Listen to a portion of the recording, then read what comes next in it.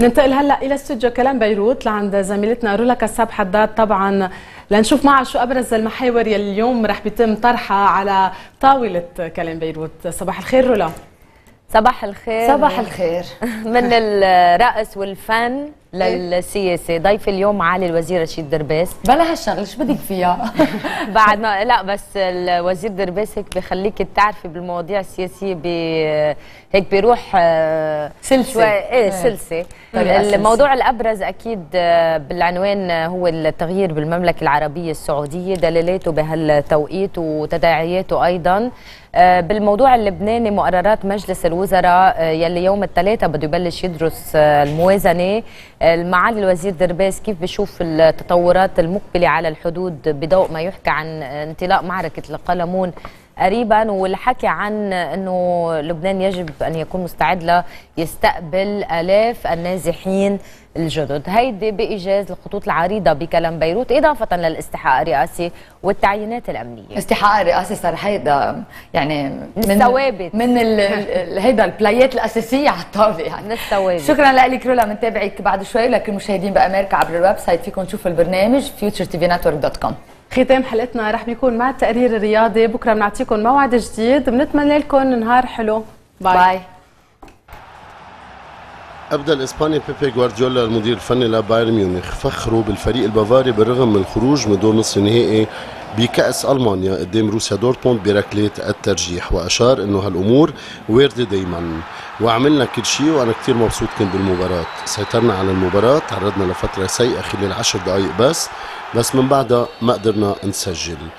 وعلى ركلة الترجيح اللي شهدت انزلاق فيليب لام وتشافي ألونزو خلال تسديد الركلتين وهالشيء اللي أدى خروج الكرة بعيدة عن المرمى قال جوارديولا إنه هالأمور وارده دائما بعالم كرة القدم.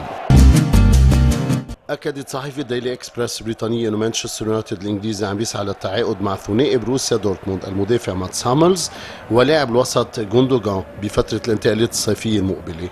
وأكد المدرب يورجن كلوب المدير الفني لفريق دورتموند على وجود مفاوضات رسمية من قبل إدارة الشياطين الحمر لاستقطاب هاملز وغوندوغان بنهاية الموسم الحالي. وأيضا عم بيسعى المدرب الهولندي من جهته لويز فانجال إنه يتعاقد مع الثنائي الألماني ليدعم صفوف الفريق قبل الخوض بالنسخة المقبلة لبطولة دوري أبطال أوروبا. دخل فريق بايرن ميونخ الألماني بدائرة المنافسة للحصول على خدمات أيضا الألماني جوندوغان لاعب وسط دورتموند خلال فترة الانتقالات الصيفية. وكان شارك اللاعب ب 26 مباراة وأحرز ثلاث أهداف مع بروسيا دورتموند. بنذكر إنه دورتموند حاليا بالمركز الثامن على سلم ترتيب أندية الدوري الألماني وتأهل لنهائي كأس ألمانيا. اعترف القطري ناصر الخليفي رئيس نادي باريس سان جيرمان بأنه التقى بالفرنسي بول بوجبا لاعب وسط جوفنتوس خلال الفترة الماضية. ويعتبر فريق باريس سان جيرمان من أبرز الأندية الأوروبية اللي بترغب بالحصول على خدمات الموهبة الفرنسية خلال فترة الانتقالات الصيفية المقبلة. والنادي الباريسي عم يسعى ليقدم عرض بقيمة 20 مليون يورو بالإضافة لكافاني وماركو فيراتي لإتمام هالصفقة. بنذكر بوجبا شارك ب 34 مباراة وأحرز تسع أهداف مع فريق جوفنتوس خلال منافسات الموسم الحالي. أظهرت الفحوصات الأولية اللي خضع للاعب الهولندي أريان روبن نجم فريق بايرن ميونخ إصابته بتمزق عضلي خلال مباراة فريقه قدام دورتموند وما رح يتمكن روبن إنه يشارك بمباراته المقبلة قدام فريق برشلونة بدوري أبطال أوروبا. وما عم تنتهي الأحلام المزعجة لبايرن ميونخ عند هالحد لأنه نجم هجوم الفريق روبرت ليفاندوفسكي تم نقله للمستشفى بعد اصطدامه بقوة بحارس مرمى دورتموند وهالشي خلاه يتعرض لارتجاج بالمخ.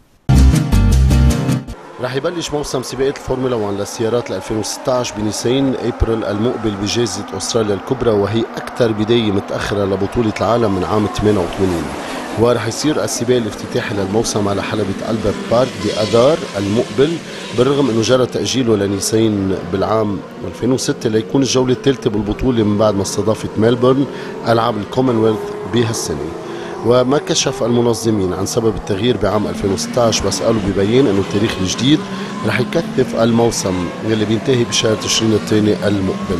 وتكهنت وسائل الإعلام بأنه إدارة الفورمولا 1 عم تسعى لتقوي الضغط على الموسم ليقللوا النفقات اللي عم تتكبدها الفرق وتقليص الفترة بين السباقات بمحاولة لزيادة الاهتمام بالبطولة. ضمن الدوري الأمريكي للمحترفين بكرة السلة ال NBA ال playoff فريق هيوستن روكيتس عم يتأهل لدور نصف النهائي من المنطقة الغربية بعد فوزه على فريق دالاس مافريكس بنتيجة 103 94 ليتقدموا 4 1 وبالمباراة المقبلة رح يواجه هيوستن الفايز من مباراة سان أنطونيو سبيرز والكليبرز علما إنه السبيرز بيتقدموا 3 2 جيمس هاردن كان أفضل مسجل من ناحية هيوستن مع 28 نقطة 2 rebounds و8 assist أما من ناحية فريق دالاس فكان مونتا مع 25 نقطة. مباراة أجريت على ملعب تويوتا سنتر بهيوستن وتابعها 18231 متفرج. فاز بالسوجكت بسباق الوحل 2015 اللي جرى بمنطقة اسكس بضواحي لندن وشارك بهالسباق 300 متسابق من عشاق هالنوع من السباقات الغريبة والطريفة وعندها جمهور كتير كبير بتابعها حوالي ال 15000 متفرج. مسافة السباق بلغت 400 متر بوادي بلاك ووتر والهدف من السباق كالعادة هو جمع التبرعات للجمعيات الخيرية اللي بيروح ريعه لمؤسسات البحث الطبي بأمراض مثل السرطان ورعاية الأطفال وغيرها. وما منعت أبدا ريحة الوحل أنه الكل يستمتع بهالحدث. سجت حقق الفوز بأربع دقايق وأربع ثواني وحل بالمرتبة الثانية أدريان كومبوس وثالث كان جيمس كريسب.